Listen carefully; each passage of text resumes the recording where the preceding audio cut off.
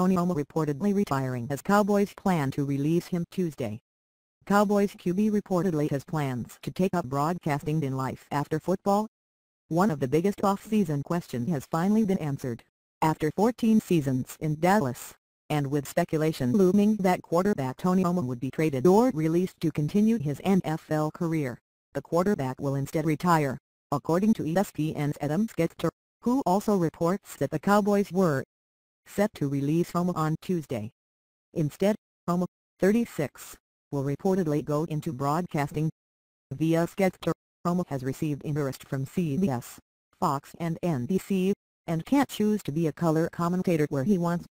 As recently as nine months ago, the expectation was that a healthy Romo would be the beneficiary of the league's best offensive line and some of its best skill position players in Dez Bryant, Jason Witten and rookie Ezekiel Elliott. The preseason back injury changed all that, and the trajectory of Romo's NFL career. He spent the season watching Dak Prescott go from fourth-round afterthought to the face of the franchise, leading Dallas to 13 wins, the NFC East title, and the playoffs. Meanwhile, Schefter reports that Romo could solidify his life after football plans as soon as Tuesday but that his decision to quit playing football has been made. That decision was based in part valuing health and family at this point in his NFL journey, just a few weeks before his 37th birthday. He took several weeks coming to this conclusion, and Romo has already informed Cowboys owner and general manager Jerry Jones, who said from the owners' meetings seven days ago that the deadline for trading Romo was training camp. That point is now moot. In the weeks and months since the Romo hype train began gaining steam, the thinking was that the four-time Pro Bowler would follow the path blazed by Peyton Manning five years ago, when he was released by the Colts, signed with the Broncos, and eventually led that team the Lombardi Trophy. With Manning retired and youth and inexperience at the position, the Broncos were thought to be in the running for Romo, as were the Texans, the team that could only endure one year of the Brock Osweiler experiment before shipping him and a second-round pick to the Browns. But the start of free agency came and went, and Romo remained on the Cowboys with no sign of progress in sight. He reportedly took Jones' perceived foot-dragging personally, though Jones denies this.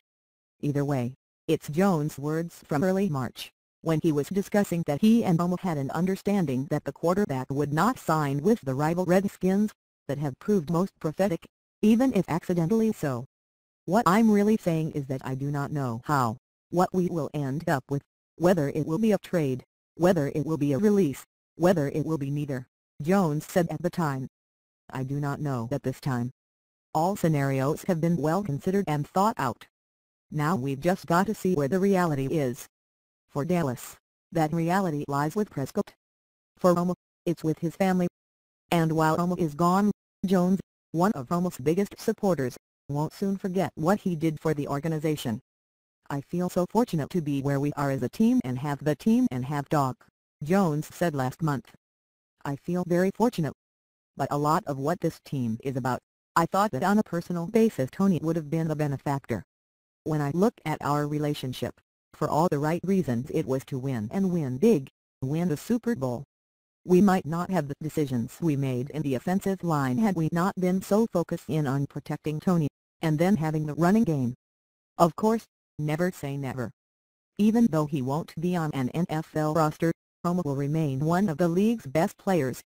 Which, technically, means that he's just a phone call away,